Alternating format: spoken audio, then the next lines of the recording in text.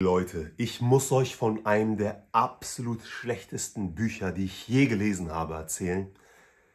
Ich kann nicht glauben, dass ich Geld dafür ausgegeben habe. Ich ärgere mich noch heute dafür. Ich habe es mir auf Empfehlung eines Freundes gekauft, der in den höchsten Tönen davon geschwärmt hat. Mit dem habe ich noch ein Hühnchen zu rupfen. Euch jedenfalls erzähle ich davon, um euch zu warnen. Lasst die Finger davon. Normalerweise sage ich jungen Leuten immer, ja, lest wenigstens irgendetwas, als gar nichts zu lesen. Aber für dieses Buch mache ich eine Ausnahme. Lest lieber nichts als das Gequatsche dieses Quacksalbers, meine Freunde. Ah, heilige Maria. Wirklich, ich ärgere mich immer noch darüber. Die Rede ist von Rich Dad, Poor Dad. Ein Buch, das als der heilige Gral der Finanzliteratur angepriesen wird. Man glaubt wirklich, dass ein Buch, das sich millionenfach verkauft hat, nicht schlecht sein kann. Aber weit gefehlt, Leute. Mm, es schmerzt wirklich. Wie konnte ich so blöd sein? Aber was soll's. Aus Fehlern lernt man, ihr wisst, ich suche mir die Leseliste für meine Bücher immer sorgsam aus, aber egal wie aufmerksam man vorgeht, man kann nicht vermeiden, dass man auf Fehltritte stößt. Und dieses Buch ist ein solcher Fehltritt. Ich wünschte, ich hätte es nicht gelesen. Ich sage euch die Wahrheit, Leute, selbst wenn ihr mit verbundenen Augen irgendein Buch aus der Finanzsektion gewählt hättet, ich bin sicher, ihr hättet ein besseres Buch als dieses hier gewählt. Unfassbar. Worum geht es hier? Um Finanzen? Ja. Wie stellt uns Robert Kiyosaki, der Autor dieses Buches, dieses Thema vor und was verspricht er vor allem? Er verspricht uns, finanzielle Intelligenz zu entwickeln. Wie vermittelt er dieses Wissen? Ganz einfach. Er stellt ein Konzept auf, das so künstlich und abgedroschen wirkt, dass man geneigt ist zu denken, weiß der Typ eigentlich, was er davon sich gibt? Er erzählt uns, dass er zwei Väter gehabt hat, einen armen Vater und einen reichen Vater. Von dem armen Vater bekommt er Lektionen, die ihm im Leben nichts bringen und vom reichen Vater bekommt er auf unorthodoxe Art und Weise ein paar Lektionen mitgeteilt, die seine finanzielle Intelligenz fördern. Ein Wort, das er übrigens sehr, sehr oft benutzt, finanzielle Intelligenz. So, was lernen wir denn daraus? Nicht viel, meine Freunde. 300 Seiten hat dieses Buch und man bekommt am laufenden Band Lektionen. Aber diese Lektionen sind so substanzlos, so leer, dass man sich fragt, ja, mein Freund, wann kommt denn jetzt das Wissen, das du, das du so angekündigt hast mit, mit, mit Pauken und Trompeten? Wo ist dieses Wissen? Wo bekomme ich endlich mal handfeste Schritte, die ich systematisch abarbeiten kann, die ich systematisch anwenden kann? Und die Antwort ist nirgendwo. Man bekommt ein paar Binsenweisheiten mit auf den Weg, Weisheiten, die jeder mitbekommen hat, die jeder, der nicht auf dem Mond lebt, schon irgendwo mal gehört hat. Und das war's, Leute. Das ist alles.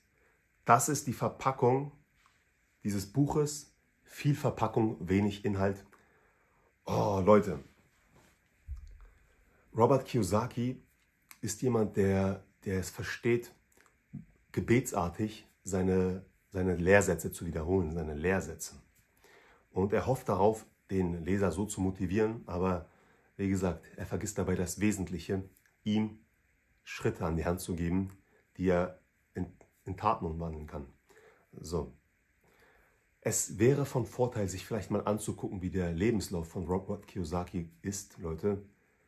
Er war bei der Marine und hat in seinen 30er Jahren unternehmerische Versuche gemacht, die allesamt gescheitert sind. Und danach hat er, hat er tatsächlich die Dreistigkeit besessen, sich für jemanden zu halten, der würdig ist, ein Buch über Finanzen zu schreiben. Sehr, sehr selbstbewusste, selbstbewusste Einstellung. Das Problem allerdings ist, Worte ohne Erfahrung sind bedeutungslos.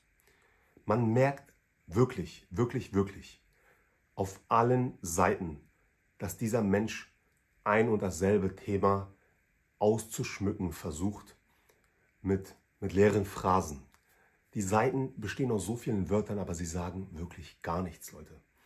Es ist so, als drehen wir uns im Kreis. Er hat ein, zwei Lehrsätze, die auch gut sind, ja, aber die eben nicht mehr sind. Lehrsätze. ein Lehrsatz ohne praktische Anwendungshilfe ist sinnlos, Leute. Ich erzähle euch mal von den guten Ratschlägen, die er einem gibt. Er sagt, Reiche arbeiten nicht fürs Geld, sie lassen ihr Geld dafür arbeiten. Sehr guter Spruch, da stimme ich voll und ganz zu. Aber das Problem ist auch hier wieder, er zeigt uns nicht wirklich, wie es geht, Leute. Das nächste, was er sagt, ist, damit man zu Geld kommt, sollte man unbedingt anfangen, nicht zu sparen, sondern das Geld in, in Werte zu investieren, die dein Vermögen vermehren. Das heißt in Vermögenswerte.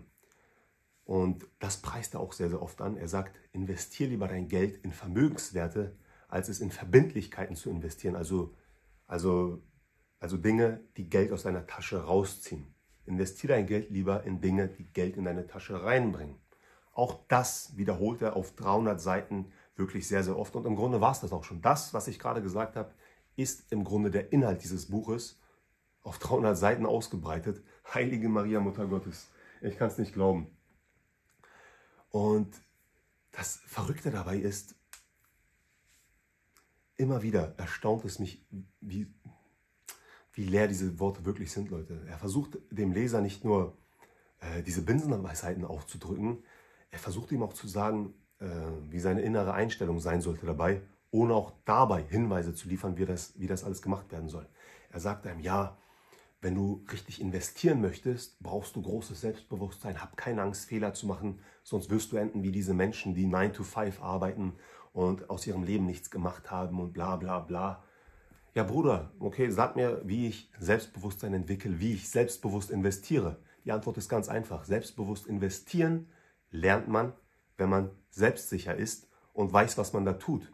Und zu wissen, was man tut, das, das lernt man nur, indem man wirklich handfeste Argumente dafür hat, handfeste Prinzipien, indem man kurz gesagt etwas Handfestes lernt. Aber auch das kann er uns in seinem Buch nicht beibringen, meine Freunde. Der einzige Mensch, der wirklich, der wirklich Geld verdient hat durch sein Buch, ist er selber. Es, es hört auch dabei nicht auf, Leute. Das Problem ist, er gibt auch Seminare, wo er, wo er sein Wissen weitergibt und und anderen Leuten versucht, was beizubringen. Und dafür verlangt er oft astronomische Summen, Leute.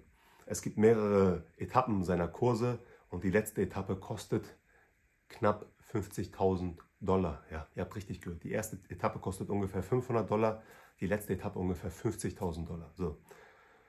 Was kann ein Mensch mir beibringen für 50.000 Dollar, der es nicht schafft,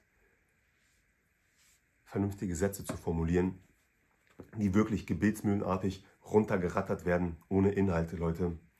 Ich dachte zuerst, äh, ich, ich habe auch einige Kritiken gehört von Vorrednern, die gesagt haben, lest es unbedingt auf Englisch, auf Deutsch kommt, kommt die Schönheit der Sprache nicht zum Vorschein. Ich habe es mir auf Englisch geholt und habe auch das bereut, Leute. Es ist einfach absurd. Ich denke, das ist alles, was ich euch sagen wollte, Leute. Lasst die Finger davon greift wirklich zu irgendeinem anderen, anderen finanziellen Buch. Äh, Think and Grow Rich ist besser. Sogar die Scheiße von Bodo Schäfer ist besser. Bodo Schäfer ist genauso ein Quacksalber, aber sogar sein Buch ist besser, denn dort gibt es wenigstens interessante Anekdoten und andere Bücherempfehlungen.